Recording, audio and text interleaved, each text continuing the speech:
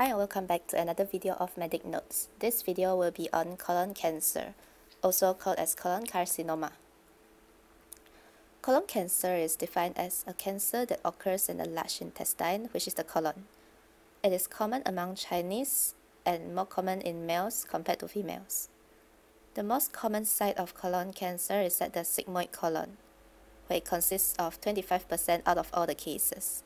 And other possible sites are the rectum, cecum, rectal sigmoid junction, transverse colon, and ascending colon. So anywhere in the colon, it can occur. These are the characteristics that will increase one's risk of having colon cancer. So the risk factors can be divided into modifiable or non-modifiable risk factors. For modifiable risk factors, it includes the diet of the person, so those who like to eat canned food or processed meat and have always drink alcohol might have a higher risk of having colon cancer. Lifestyle such as smoking and obesity also increase the risk of colon cancer as well. Whereas the non-modifiable risk factors include older age, usually more than 50 years old, Chinese race, those who have a family history of colon cancer, hereditary syndromes such as the familial adenomatous polyposis or other syndromes. And if the person has a personal history, a past history of colon polyps diagnosed on investigation, or any cancer, or any history of inflammatory bowel disease. So what are the symptoms of colon cancer? So the patient most commonly presents with abdominal pain, which consists around 44% out of all the cases. They might have bleeding, such as hematochezia or melena. Hematochezia means there is per-rectal and fresh bright red bleeding from the rectum, whereas melena is when there is dark black stools, sticky stools. So there is blood in the stool. They may have symptomatic anemia, often presenting with chest pain in elderly patients, any changes in the bowel habits?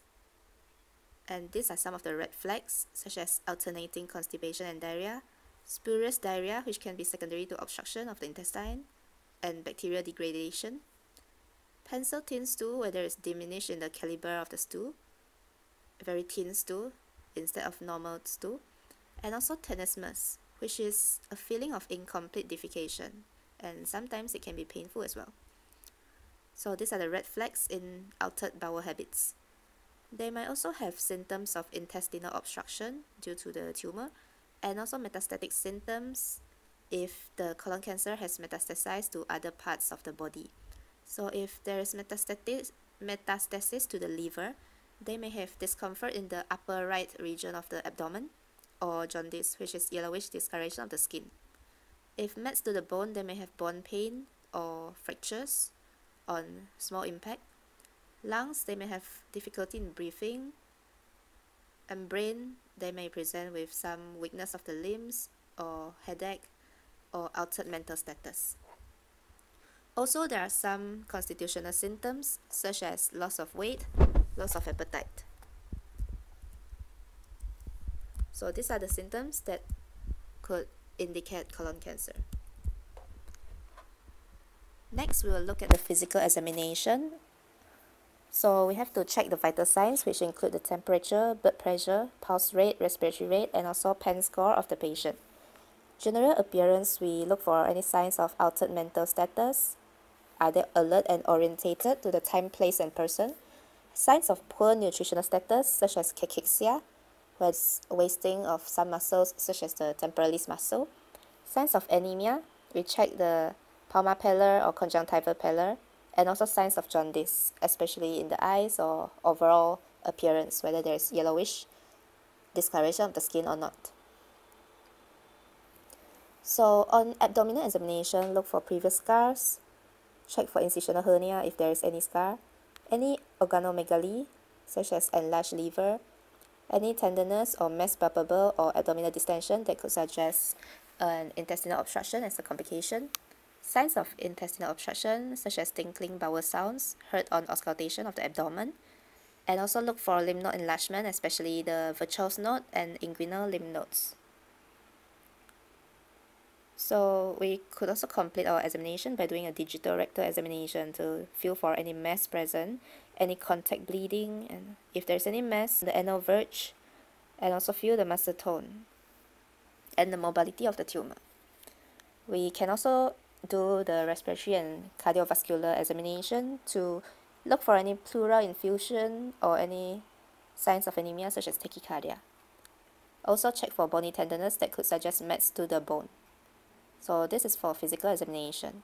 Next, for investigation, the investigation to establish the diagnosis of colon cancer include a colonoscopy and also if there is tumor, then we biopsy do biopsy of the tumor for histopathological examination. And others include double contrast barium and air enema or CT colonography. Whereas for staging investigation, it includes the CT scan of the thorax, abdomen, and pelvis. This is for staging purpose, and bone scan can also be done if symptomatic to look for mets to the bone. Supportive investigations include blood investigations like full blood count, uh, renal profile, liver function test, erect and supine abdominal x-ray, and also erect chest x-ray if there is perforated tumor to look for air under diaphragm. The abdominal x-ray would be to look for any intestinal obstruction due to the tumor. Pre-op investigation include the carcinoembryonic antigen level, the CEA test, and also group cross-match and coagulation profile. So this CEA is a useful prognostic and surveillance tumor marker in colorectal cancer.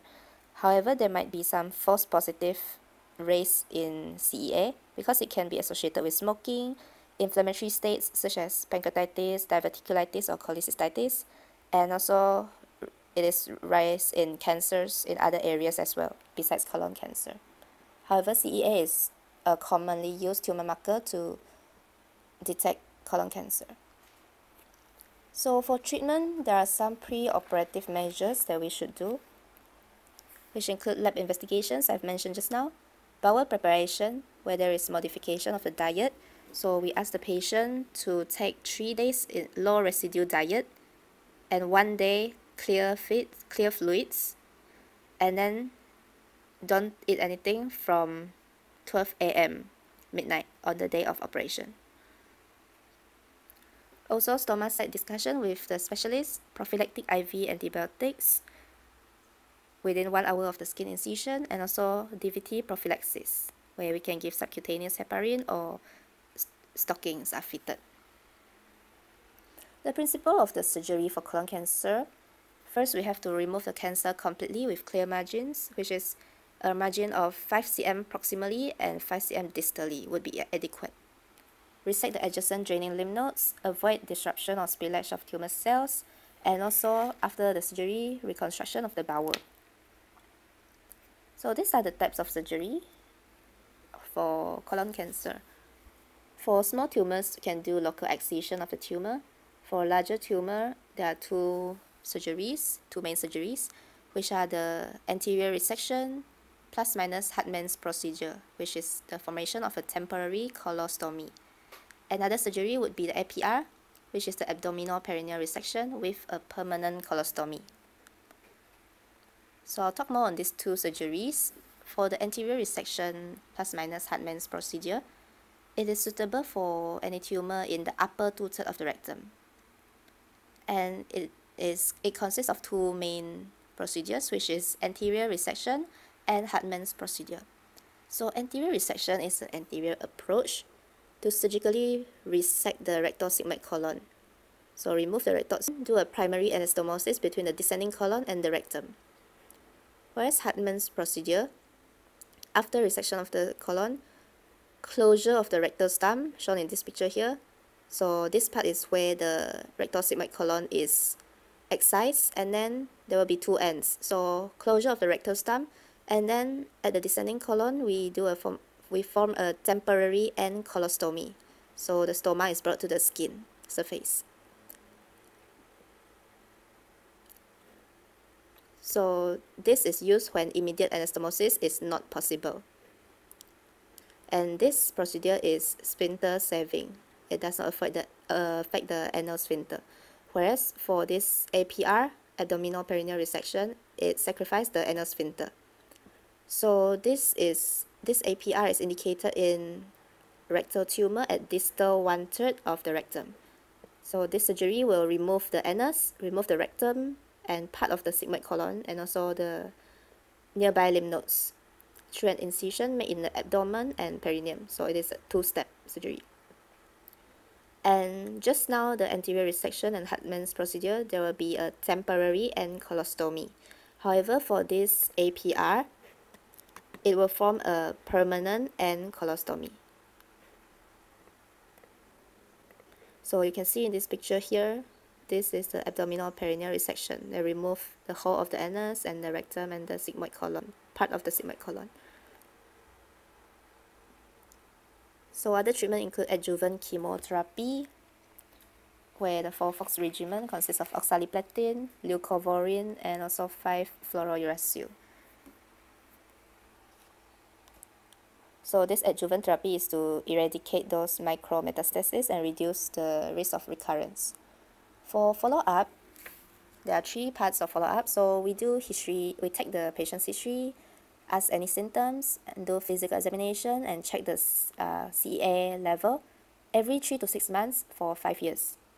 Whereas colonoscopy is done in the first year and then every three to five years.